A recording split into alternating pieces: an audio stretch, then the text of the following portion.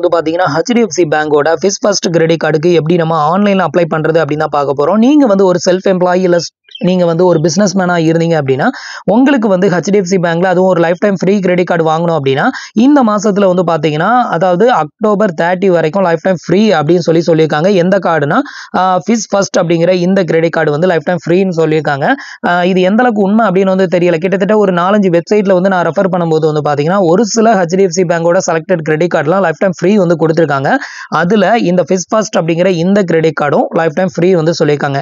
நீங்கள் அப்ளை பண்ணும்போது joining fee and renewal fee வந்து காட்டும் அப்படின்னு வந்து சொல்கிறாங்க ஸோ அதுக்கப்புறமா உங்களுக்கு அந்த ஆஃபர் வந்து அப்ளைக்கபிள் ஆகும்போது இந்த மாதத்தில் உங்களுக்கு அப்ரூவ் ஆச்சு அப்படின்னா அது லைஃப் டைம் ஃப்ரீயாக வந்து கிடைக்கிறதுக்கு அதிகமான வாய்ப்பு இருக்குது. நீங்கள் யாராவது அப்ளை பண்ணீங்க அப்படின்னா உங்களுக்கு லைஃப் டைம் ஃப்ரீயாக கிடைச்சதா இல்லையா அப்படிங்கிறத மறக்காம கமெண்ட்ல மென்ஷன் பண்ணுங்க.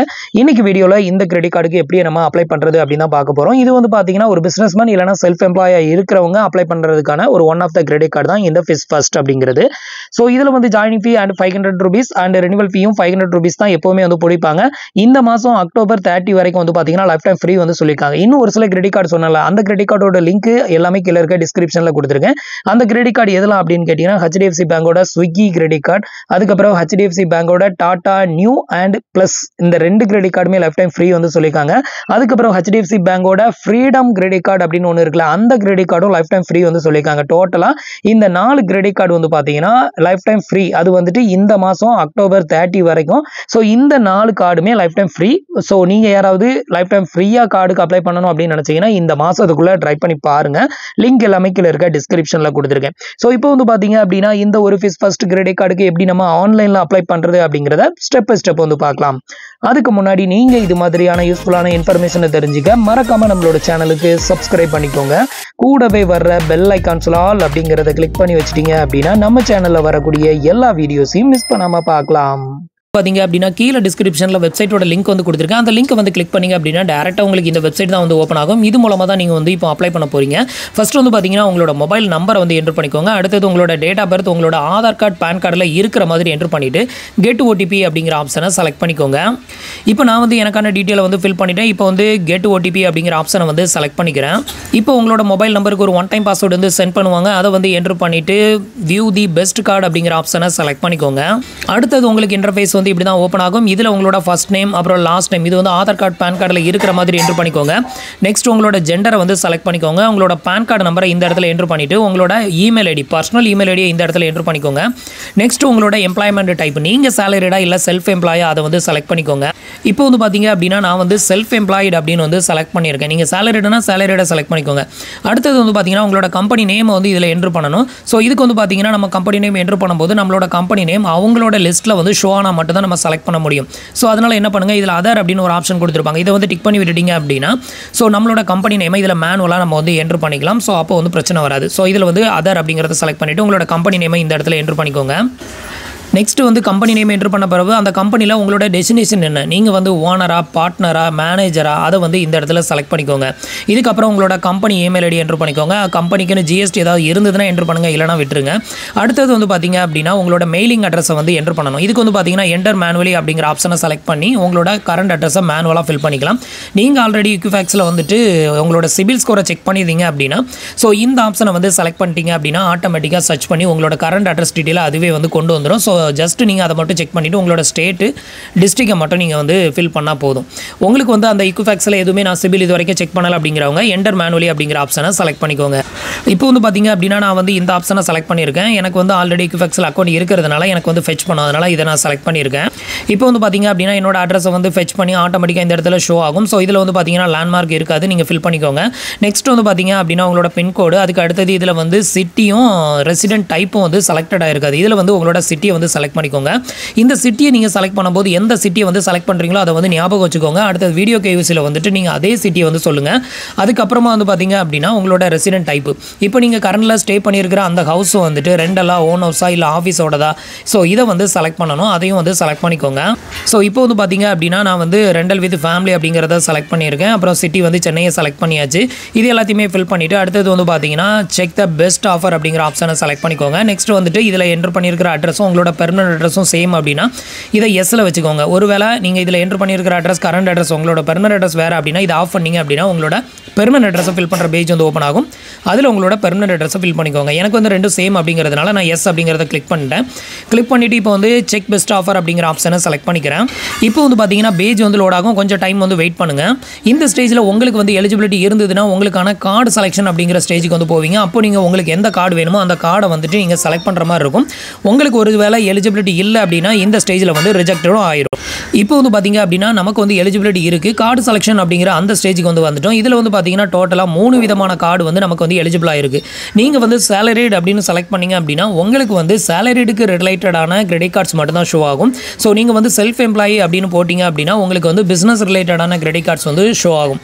இப்போ நம்ம வந்து பார்த்திங்கன்னா செல்ஃப் எம்ப்ளாய்டு அப்படின்னு வந்து போட்டிருக்கோம். ஸோ இது வந்து பிஸ்னஸ் அப்படின்னு போகும். அதனால வந்து பார்த்தீங்கன்னா நமக்கு வந்து ஃபஸ்ட்டு ஃபிஸ் கிரெடிட் கார்டு அதுக்கப்புறம் வந்து பார்த்தீங்கன்னா money back plus credit card next next வந்து பார்த்தீங்கன்னா CSC small business credit card டோட்டலாக இந்த மூணு விதமான கிரெடிட் கார்டு வந்து நமக்கு ஆஃபர் பண்ணியிருக்காங்க. ஃபஸ்ட்டு கார்டு வந்து பார்த்தீங்க அப்படின்னா ஃபிஸ் ஃபஸ்ட் கிரெடிட் கார்டு ஸோ இது வந்து ரூபே டைப் தான். மூணுமே வந்து பார்த்திங்கன்னா ரூபே டைப்பில் தான் வந்து கொடுத்துருக்காங்க. மூணுமே நம்ம வந்து யூபிஐ ஆப்ஸில் வந்து லிங்க் பண்ணி நம்ம வந்து யூபிஐ பேமெண்ட் எதுவும் பண்ணிக்கலாம். ஸோ இப்போ இந்த கிரெடிட் கார்டில் நமக்கு கிடைக்கக்கூடிய ஒரு சில ஹைலைட்டான பெனிஃபிட்டை நீங்கள் செக் பண்ணணும் அப்படின்னு நினச்சிங்கன்னா கீழே வந்து பெனிஃபிட் ஒன்று கொடுத்துருப்பாங்க. அதில் வந்து பார்த்துக்கலாம் ஸோ உங்களுக்கு இந்த கார்டு ஓகே அப்படின்னா இதை வந்து செலக்ட் பண்ணிக்கலாம். அடுத்த கார்டை வந்து பார்க்கலாம்.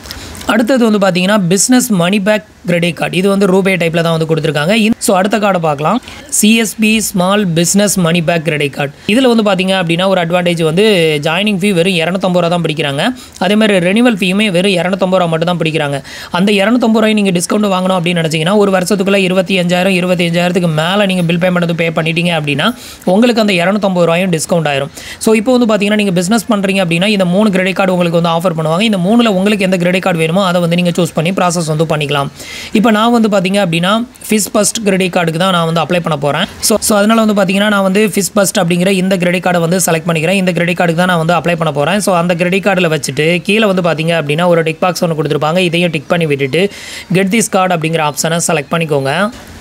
அடுத்தது இன்டர்ஃபேஸ் வந்து உங்களுக்கு இப்படி தான் வந்து ஓப்பன் ஆகும். இதில் வந்து பார்த்தீங்க அப்படின்னா உங்களோட ஆஃபீஸ் அட்ரஸை வந்து ஃபில் பண்ணிக்கோங்க. Address line one address line two address line three அதுக்கப்புறம் அதோட பின்கோடு அதுக்கப்புறம் அதோட சிட்டி ஸ்டேட் இதை எல்லாத்தையுமே ஃபில் பண்ணிவிட்டு உங்களோட ஆனுவல் இன்கம் வந்து கேட்டிருக்காங்க. நீங்கள் பிஸ்னஸ் மேன் அப்படின்னு வந்து என்டர் பண்ணிட்டீங்க அப்படின்னா மினிமம் ஆனுவல் இன்கம் வந்து பார்த்தீங்கன்னா அபோவ் சிக்ஸ் லேக்குக்கு மேலே வந்து ஃபில் பண்ணிக்கோங்க. இன்கம் ப்ரூஃப்லாம் வெரிஃபை பண்ண மாட்டாங்க. அதனால் நீங்கள் தாராளமாக என்டர் பண்ணிக்கலாம். அதுக்கு கீழே ஸ்கோரல் பண்ணீங்க அப்படின்னா உங்களோட மதர் நேமோட ஃபஸ்ட் நேம் கேட்டிருப்பாங்க லாஸ்ட் நேம் கேட்டிருப்பாங்க. இந்த ரெண்டையும் ஃபில் பண்ணிக்கோங்க. ஃபில் பண்ணிவிட்டு கண்டினியூ அப்படிங்கிற ஆப்ஷனை வந்து செலக்ட் பண்ணிக்கோங்க. இப்போ நான் வந்து எனக்கான டீட்டெயில் எல்லாத்தையுமே ஃபில் பண்ணிவிட்டேன் இப்போ வந்து கண்டினியூ கொடுக்குறேன். அடுத்தது வந்து பார்த்தீங்க அப்படின்னா நம்மளுக்கான கேஒய்சி வந்து கம்ப்ளீட் பண்ணணும். இதுக்கு வந்து பார்த்தீங்க அப்படின்னா இதில் ஃபஸ்ட் ஆப்ஷனாக கொடுத்துருக்காங்களா Aadhaar based eKYC plus vKYC அப்படின்னு சொல்லிட்டு. இந்த ஆப்ஷனை வந்து செலக்ட் பண்ணிவிட்டு கீழே ஸ்குவரல் பண்ணிக்கோங்க. கீழே வந்து ஸ்கோரல் பண்ணீங்க அப்படின்னா கண்டினியூ அப்படிங்கிற ஆப்ஷன் வந்து கொடுத்துருப்பாங்க. இதை வந்து கிளிக் பண்ணி கண்டினியூ கொடுத்துருங்க. இப்போ வந்து பார்த்தீங்கன்னா நம்மளுக்கான கேஒய்சி வந்து கம்ப்ளீட் பண்ணணும். இதில் வந்து பார்த்தீங்கன்னா ஒரு டேம்ஸ் அண்ட் கண்டிஷன் ஒன்று ஓப்பன் ஆகும். இதில் வந்து டிக் பண்ணி விட்டுட்டு ப்ரொசீட் டு இகேஒய்சி அப்படிங்கிற ஆப்ஷனை செலக்ட் பண்ணிக்கோங்க. இப்போ வந்துட்டு டிக் பண்ணியாச்சு. ப்ரொசீட் டு இகேஒய்சிங்கிறத கிளிக் பண்ணுறேன் அடுத்தது வந்து பார்த்தீங்க அப்படின்னா உங்களோட ஆதார் நம்பரை வந்து என்ட்ரு பண்ணணும். இந்த இடத்துல உங்களோட ஆதார் நம்பரை என்ட்ரு பண்ணிவிட்டு கெட் ஓடிபி கொடுத்துக்கோங்க. இப்போ நான் வந்து எனக்கான ஆதார் நம்பரை என்ட்ரு பண்ணிட்டேன். கெட் ஓடிபி கொடுக்குறேன். இப்போ உங்களோட மொபைல் நம்பருக்கு ஒரு ஒன் டைம் பாஸ்வேர்டு வந்து சென்ட் பண்ணுவாங்க. அதை வந்து என்ட்ரு பண்ணிவிட்டு வெரிஃபை இகேஒய்சி அப்படிங்கிற ஆப்ஷனை செலக்ட் பண்ணிக்கோங்க. அடுத்தது வந்து பார்த்தீங்கன்னா உங்களோட ஆதார் கார்டில் இருக்கக்கூடிய அட்ரஸ் வந்து ஃபெச் ஆகி இந்த இடத்துல வந்து ஷோ ஆகும். இதை வந்து செக் பண்ணிவிட்டு கண்டினியூ கொடுத்துருங்க. இந்த அட்ரஸ்க்கு தான் வந்து பார்த்தீங்க அப்படின்னா கிரெடிட் கார்டு வந்து சென்ட் பண்ணுவாங்க. ஸோ அதனால் வந்துட்டு இந்த அட்ரஸ் கரெக்டாக இருக்கான்னு செக் பண்ணிவிட்டு கண்டினியூ கொடுத்துக்கோங்க. அடுத்தது ஒரு டேர்ம்ஸ் அண்ட் கண்டிஷன் ஒன்று ஓப்பன் ஆகும். இந்த டிக் பாக்ஸை வந்து டிக் பண்ணி விட்டுட்டு சமிட் அப்படிங்கிற ஆப்ஷனை செலக்ட் பண்ணிக்கோங்க. இப்போ டிக் பண்ணியாச்சு சப்மிட் கொடுக்குறேன். இப்போ வந்து பார்த்தீங்கன்னா நம்மளுக்கான அப்ளிகேஷன் வந்து சக்ஸஸ்ஃபுல்லாக சப்மிட்டட் ஆயிருச்சு. நம்மளோட அப்ளிகேஷன் நம்பர் ரெஃபரன்ஸ் நம்பர் வந்து பார்த்தீங்கன்னா இந்த இடத்துல வந்து ஷோ பண்ணுவாங்க. ஸோ இதை வந்து கம்ப்ளீட் பண்ணதுமே இதுக்கு பின்னாடி கண்டினியூஸாக வந்து பார்த்தீங்க அப்படின்னா நம்ம வீடியோ கேவிசி வந்து கம்ப்ளீட் பண்ணணும். இந்த வீடியோ கேவிசி வந்து பார்த்தீங்கன்னா செவன்ட்டி டூ ஹவர்ஸ்க்குள்ளே நம்ம வந்து இந்த அப்ளிகேஷனை ஃபில் பண்ண செவன்ட்டி டூ ஹவர்ஸ்க்குள்ளே கம்ப்ளீட் பண்ண சொல்லியிருக்காங்க. ஸோ இப்போ கண்டினியூஸாக நம்ம வந்து வீடியோ கேவிசி வந்து கம்ப்ளீட் பண்ணலாம். இப்போ கீழே வந்து ஸ்கோரல் பண்ணிக்கோங்க. கீழே வந்து ஸ்கோரல் பண்ணிங்க அப்படின்னா வீடியோ கேவிசி வந்து கம்ப்ளீட் பண்ணுறதுக்கான பேஜ் வந்து ஓப்பன் ஆகும். இதில் வந்து பார்த்தீங்கன்னா இந்த வீடியோ கேவிசி கம்ப்ளீட் பண்ணுறதுக்கு original PAN card plastic PAN card கையில் இருக்கணும். ஒயிட் பேப்பர் பேனா அதுக்கப்புறம் நல்ல வெளிச்சமான இடம் நல்ல சைலண்ட்டான பிளேஸில் இருந்து நீங்கள் அந்த வீடியோ கேவிசியை வந்து கம்ப்ளீட் பண்ணிக்கோங்க. முடிஞ்சால் ஹெட்செட் வந்து போட்டுக்கோங்க. அப்போ தான் ஈஸியாக இருக்கும். இப்போ வந்து பார்த்தீங்கன்னா வீடியோ கேவிசி எப்படி கம்ப்ளீட் பண்ணுறது அப்படின்னு வந்து பார்க்கலாம். இப்போ ஸ்டார்ட் வீடியோ கேவிசி நவ் அப்படிங்கிற ஆப்ஷனை செலக்ட் பண்ணிக்கோங்க. அடுத்தது வந்து பார்த்தீங்கன்னா வீடியோ கேவிசியில் நமக்கு ஒரு அட்வான்டேஜ் என்ன அப்படின்னு கேட்டிங்கன்னா நம்மளோட மதர் லாங்குவேஜ்லேயே நம்ம வந்து வீடியோ கேவிசி வந்து பண்ணிக்கலாம். ஸோ ஹெச்டிஎஃப்சி பேங்கை பொறுத்தவரையிலே வந்து பார்த்தீங்கன்னா உங்களுக்கு நிறைய லாங்குவேஜ் அவைலபிளாக இருக்குது இதில் வந்து பார்த்தீங்கன்னா தமிழ் அப்படிங்கிறத செலக்ட் பண்ணிக்கோங்க. அப்போ நீங்கள் தமிழ்லேயே வந்து பார்த்தீங்கன்னா வீடியோ கேவிசி வந்து கம்ப்ளீட் வந்து பண்ணிக்கலாம். இப்போ வந்து பார்த்தீங்கன்னா நான் வந்து லாங்குவேஜை வந்து செலக்ட் பண்ணிட்டேன். தமிழில் தான் நான் வந்து கேவிசி கம்ப்ளீட் பண்ணேன். அடுத்தது வந்து ஸ்டார்ட் வீடியோ கேவிசி அப்படிங்கிற ஆப்ஷனை செலக்ட் பண்ணிக்கோங்க. இப்போ வந்து பார்த்தீங்க அப்படின்னா வீடியோ கேவிசி வந்து கனெக்ட் ஆகும். கனெக்ட் ஆனதுமே வந்து பார்த்தீங்கன்னா ஃபஸ்ட்டு கேட்குற கொஸ்டின் உங்களோட நேம் வந்து கேட்பாங்க.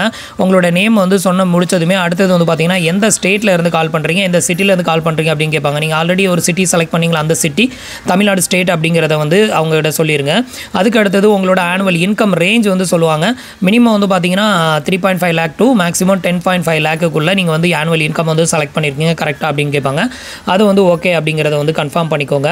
இதுக்கு அடுத்தது வந்து பார்த்தீங்க அப்படின்னா உங்களோட ஃபோன் நம்பரோட லாஸ்ட் ஃபோர் டிஜிட் நம்பரை வந்து சொல்ல சொல்லுவாங்க. அப்படி இல்லைனா உங்களோட ஃபுல் மொபைல் நம்பரையும் வந்து சொல்லுங்கள் அப்படின்னு வந்து சொல்லுவாங்க. உங்களோட லாஸ்ட் ஃபோர் டிஜிட் மொபைல் நம்பரை மட்டும் சொல்லிக்கோங்க. இதுக்கு அடுத்தது உங்களோட பேன் கார்டை வந்து ஒரு கேப்சர் எடுக்க சொல்லுவாங்க. பேன் கார்டை வந்து கீழே வச்சு நீங்கள் உங்களோட கேமரா பிடிச்சிங்கன்னா அவங்க வந்து கேப்சர் எடுத்துக்குவாங்க. நெக்ஸ்ட்டு வந்து ஒரு ஒயிட் பேப்பர் எடுத்து அதில் வந்து சைன் போட சொல்லுவாங்க. ஸோ அதை வந்து லைவாக சிக்னேச்சர் போட்டு அதை வந்து நீங்கள் கேமராவில் டிஸ்ப்ளே பண்ணிங்கன்னா அதை ஒரு கேப்சர் எடுத்துக்குவாங்க.